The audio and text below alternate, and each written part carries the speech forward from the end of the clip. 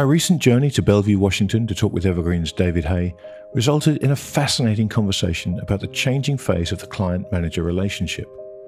David also talked about Bubble 3.0, his lifetime chronicling of the current markets, and about real estate's part in what is unfolding as he writes. There was no way I was leaving this on the cutting room floor.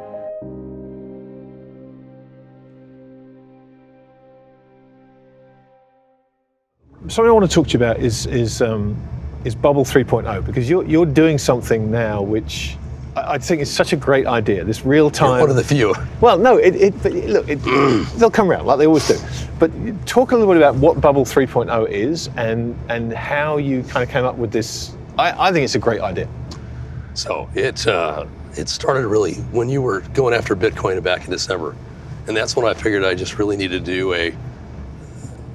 We called it the Bubble Watch. It started out at Bubble 3.0 started out as Bubble Watch Eva, and as you know, we, we nailed that one pretty much right, spot on. Uh, so I think the Bubble Watch Eva went out in mid-December, and Bitcoin crashed a week later.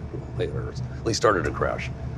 Uh, Bubble 3.0, it was kind of like, as I realized that I really am not out there on record as saying that I think this is the third bubble and that it is, in my opinion, the biggest bubble ever, which became highly controversial to say that. So I thought, well, let's let's document this. And part of it was a belief that so many years have gone by that we're not that close from the, the break point. And I actually thought Bitcoin crashing was indicative that it was starting. Yeah. The crash was starting again, a lot of people disagree and said, oh, no, that's a French asset class. That doesn't really count. But that was really the, uh, the impetus. So my logic of why this is the biggest bubble ever really loops back to the bond market and interest rates. Because if you think about it, interest rates drive almost everything when it comes to asset prices. So by definition, when you've driven interest rates down to zero or negative, and you know as well as I do, there's still $8 trillion yeah, of sure. bonds around the world with negative interest rates. What's that going to do to asset prices? So I finally, after all the arguments I'd had with clients and, and even investment professionals, I thought, okay, let's approach it from the interest rate standpoint, because that one nobody can argue yeah, with. Yeah. This is the biggest bond bubble ever. They go, yeah, okay, well, we're on board with that. Yeah. So, but then the argument becomes, or the, uh, I guess the the expansion of the theme becomes okay, well, what are those implications for everything else? And once you accept, I mean, they kind of get themselves in a box by accepting the yep. biggest bubble ever in bonds because it does directly relate to so many other things. Real estate being an obvious example. And at one of them, we ran a great quote from uh, Adam Smith from back in the 1700s, talking about at that time how in England interest rates had temporarily gone way down and how it had created a property bubble. And he kind of briefly explained why you know, basically it relates to the cap rate. So I, you know, made that same argument. I said that's exactly what's been happening this cycle in the U.S. and around the world. And as a result, because of the biggest bubble ever in bonds, you got the biggest bubble ever in real estate. Now, second, for this, I mean, who would have thought 10 years ago that we would have done it again? right. But we did. Yeah. So real estate, this obviously, you know, Bellevue has been one of the hottest property markets uh, certainly in, in the West, maybe in the entire country for a number of years now. And wherever I go, you know, I've noticed recently, New York, Toronto, Miami, the, the, the amount of construction going on. And if you look at this through even mildly cautious eyes, you can just see everybody finishing all this construction at exactly the wrong time. Real estate prices in New York are falling precipitously now. Miami's the same. Talk a little bit about the local market here because it was such a barometer of this booming real estate market. Absolutely. So if we talk long enough, I'm going to take you by a house that just sold a few months ago, and a few months ago is the key part of this because things have changed radically. But a few months ago, it sold for 14.2 million. I think we'll get a chance to look at it. It's not like some of these mansions around here.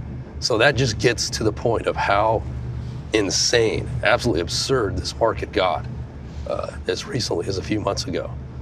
So things have changed since June. June was the high water mark. But what's amazing is the Seattle economy is still white hot. Mm-hmm. But we still have the tech stocks, tech companies. I mean, just think about all the Amazon employees around here, and their options are worth just yeah. astronomical amounts. But Microsoft too. I mean, Microsoft stock is you know, it's tripled in recent years. Then there's all the other guys, you know, the Valve and Smartsheet. I mean, this is a hotbed of tech wealth creation. And it reminds me of my friend who was in the Bay Area back in the late 90s. He worked for National Semi, and he bought his house for a very high price at the time. His house, he says, still isn't worth what it was then. Right. But he goes, I didn't care because I bought it with monopoly money. And I said, what do you mean monopoly money? Oh, there, I had a bunch of options that were, you know, just ridiculous. So I used those. I really didn't care. Well, that's what we have around here, a lot of monopoly money. Now, that's going to change because these tech stocks will eventually break like they always do. But what's interesting is, as healthy as the Seattle area real estate economy is, already prices are falling. I'm not saying sales are falling, they are. Inventories are way up 60, 80, 100% on condos. Prices are down, and they're down 10% or more. Mm-hmm. So the house next to us, their daughter just sold her, uh, she had a townhouse over in Ballard. She sold it for 700,000, but the realtors told her if she had listed it two weeks earlier, she would have gotten between 800 and 850. Really. And I'm hearing this constantly. Island over there, the prices are falling like a rock. I've never seen this happen in a good economy. I mean, obviously in the Great Recession, prices fell, but this is a big time canary in the coal mine that's that's fallen off the perch. Real estate matters, and frankly, if you go back and look at housing's a great leading indica- indicator for the economy and for the market.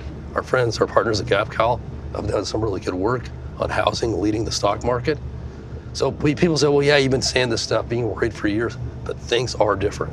Real estate falling is different, and it's falling around the world. It's not just here. Stock markets are falling around the world. Well, the home Bond building stocks, the home building stocks are getting battered. The Oh, new home home sales building are stocks have been crushed. Yeah, that, that whole. But Even Home Depot's starting to crack. But, but housing, you know, it's funny, isn't it? Because the last bubble, housing was all anyone cared about. It was the focus of everything was the housing market, and everyone was getting rich through their house. Now everyone's getting rich through their 401ks, and no one's paying attention to the housing market. You know, there's, there's almost a stealth bear market Right. on housing. right, that's true. It's amazing how suddenly no one really cares about that anymore. No, that's true. It's, uh, you know, I don't think it's going to be the flashpoint like it was last time, but still, it's, you know, the, the reason I think this has been the biggest bubble ever is kind of like the bubble in everything. I mean, it hasn't been as dramatic outside of maybe Bitcoin as the housing bubble was back in 07, but just everything has been lifted, which gets back to interest rates. Interest rates have such a, you know, an impact on almost everything. Yeah. So yeah, I mean, housing, it's, it, it, it wasn't what they were trying to do. They weren't trying to create another housing bubble, but they have.